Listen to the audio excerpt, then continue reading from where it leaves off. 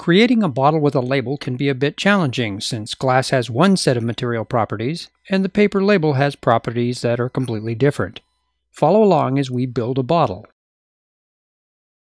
Open a Maya document and start a new project. Make sure to set your new project and save your scene.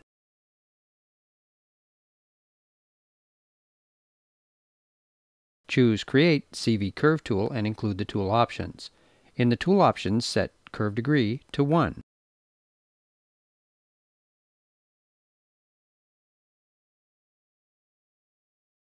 Click multiple times in the front view to define the bottle's profile. The profile should be positioned to the right of the y-axis and include the inside and outside of the bottle. Press Enter to accept your shape.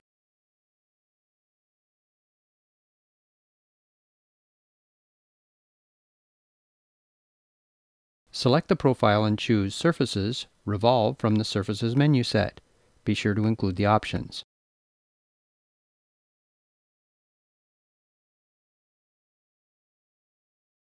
In the Revolve options, choose Axis Preset Y, Surface Degree Linear, and Output Geometry Polygons. Select the Attach Multiple Output Meshes checkbox. Set Type to Quads, then select the Count checkbox and set the count to 200. Click Revolve to add your bottle to the workspace. Select the bottle and choose Mesh, Smooth from the Polygons menu set. Make sure to include the options. In the Smooth Mesh options, set the division levels to 1. Then click the Smooth button.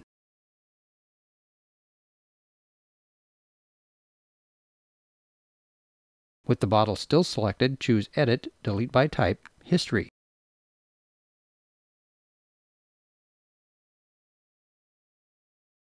Right-click the bottle and choose Face from the menu. In the front view, use the Paint Selection tool to paint all the faces that will be covered by your label.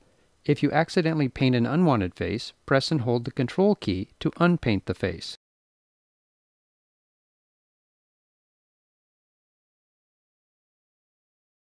With the faces selected, choose Edit Mesh, Duplicate Face from the Polygons menu set. In the top view, drag the blue arrow out slightly so the new face is outside the bottle. Press the Q key to exit the tool. The new object will be your label. In Photoshop, open a new 1024 by 1024 pixel image with a transparent background and design a label. Leave some blank area on all four sides of the label. Once you are finished with your design, choose Merge Visible from the Layer Panel menu.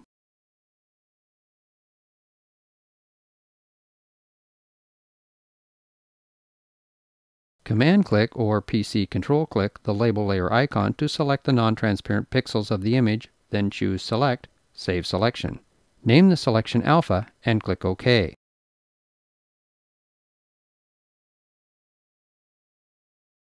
Save the label image as label.tiff in your project source images folder. It is saved as a TIFF to retain the alpha channel transparency information.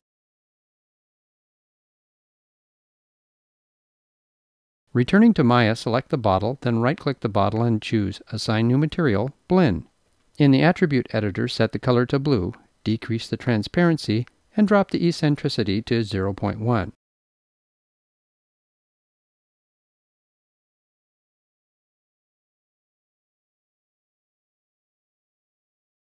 Select the label, then right-click the label and choose Assign New Material, Lambert.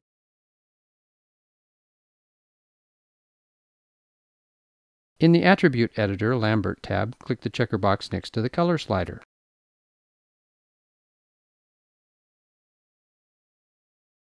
In the Create Render Node panel 2D Textures section, right-click the File button and choose Create Texture.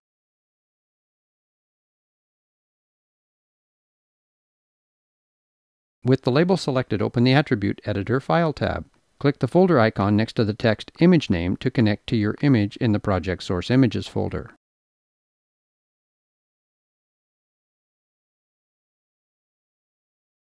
With the label selected, choose Edit UVs, Normalize from the Polygons menu set.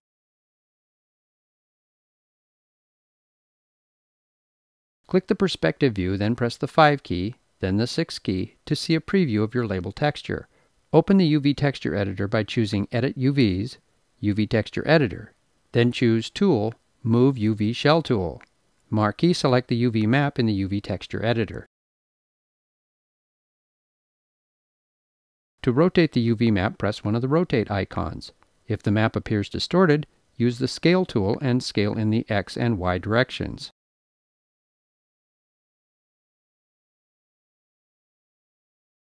Click the Render Current Frame icon to view your model.